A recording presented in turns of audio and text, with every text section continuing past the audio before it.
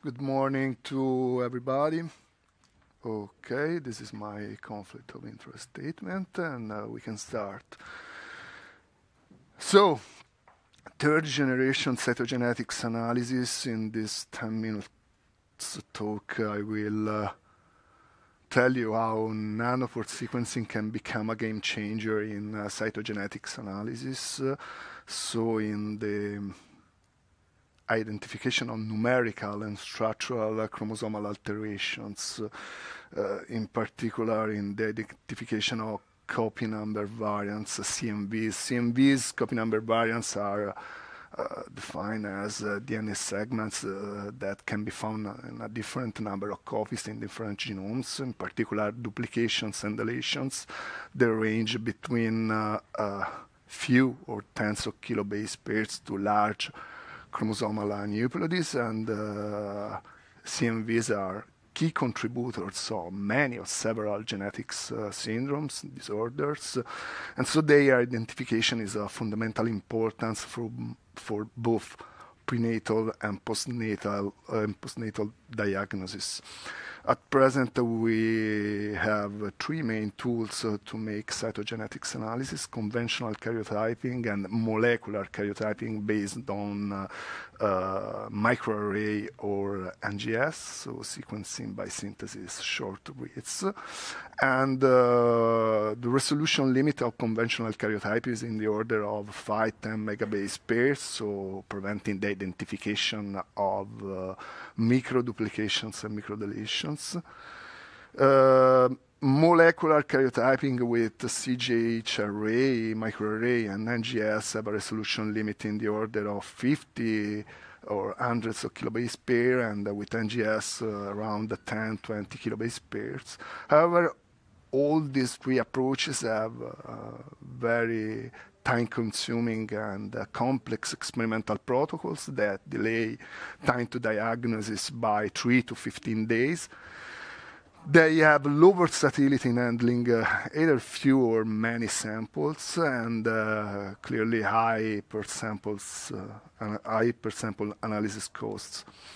One uh, of the most powerful approach for uh, detecting copy number variants is uh, the read count approach uh, that uh, is, uh, has been widely used with NGS data, and it is based on a very simple idea that the sequencing process is a uniform process for which each region of the genome is sequenced randomly independently, and so deleted region will uh, have less reads than a region that is not deleted, and duplicated region will have more reads than a region that is not duplicating. So counting the number of reads in consecutive and non-overlapping regions of the genome can be very useful because it can predict the copy number state of each region. And clearly increasing the number of sequence reads allow us to reduce the window size, so increasing the resolution in the identification of copy number variants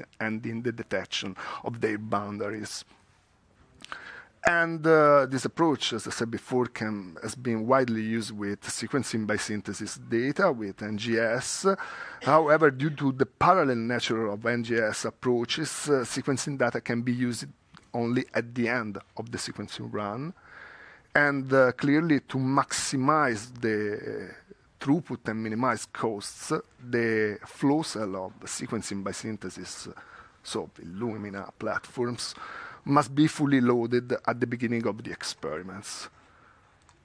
Clearly, thanks to the mm, sequential nature of nanopore sequencing, uh, reads can be used just after a few minutes from the beginning of the run. And three years uh, ago, in a paper published in uh, Journal of Molecular Diagnostics, we demonstrated that the reads generated during nanopore sequencing can be exploited to make a read count approach.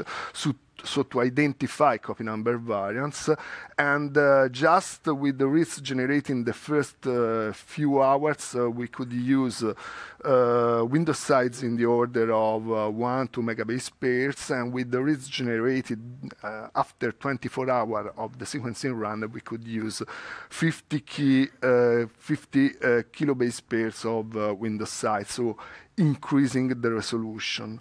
And uh, we applied this to a um, very small data set made of seven patients with uh, CNVs of different sizes, with pathogenic CNVs of different sizes, from uh, large aneuploidies to microduplications and microdeletions to very small of um, CNVs of hundreds of kilobase pairs. And we demonstrated that with the sequencing data generated in the first hour, we was capable to identify large aneuploidies with the data generated after um, six to nine hours, we were capable to identify microduplications and microdeletions, and with the data generated uh, um, after 24 hours, we were capable to identify uh, smaller CNVs of hundreds of kilobase pairs, and moreover, we could also able to uh, predict the level of mosaicism. Clearly, these results were based on uh,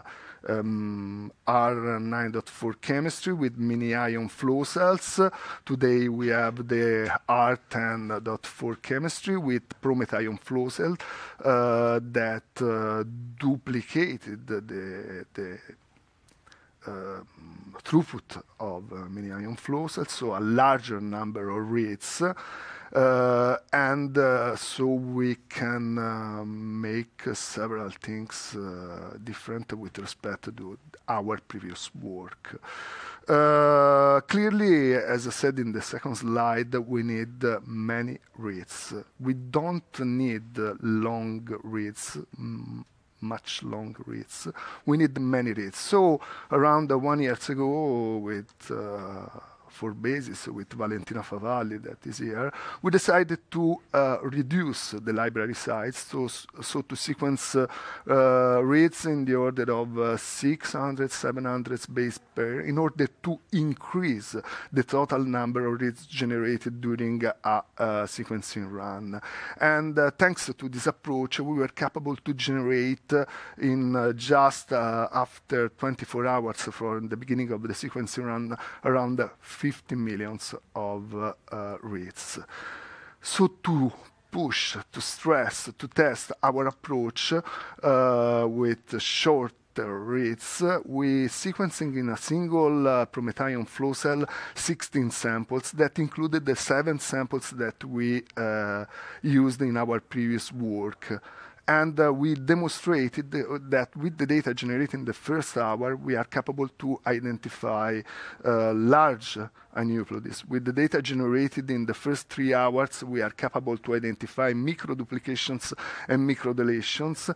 With the data uh, generated in the first uh, 12 hours, we reached the resolution of an Agilent cystic array and uh, with the data generated in the first 24 hours, we are capable to uh, predict the level of mosaicism even of small CNVs, reaching the resolution of an Agilent 108 key uh, CGH array. So, to conclude, uh,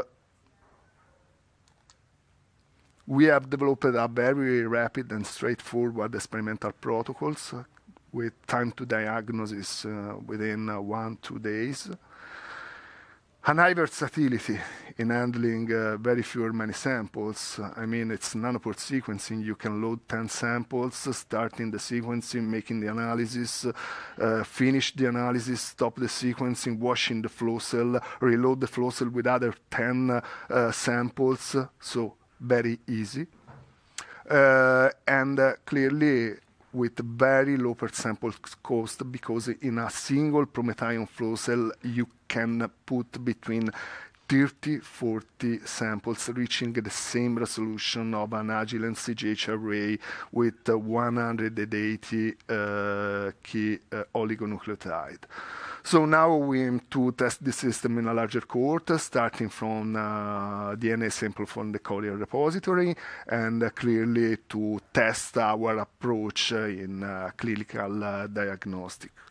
Um, finally, we have also developed a very nice tool that is capable to handle the sequence run in real time, to make read count, uh, to segment the read count profiles, to identify copy number variants, predict their level of mosaicism, to uh, show the uh, copy number variants in a karyogram and clearly to represent them comparing with a UCSC like uh, panel uh, and to compare with uh, DGV and other database with copy number variants the identifying other studies. Thank you.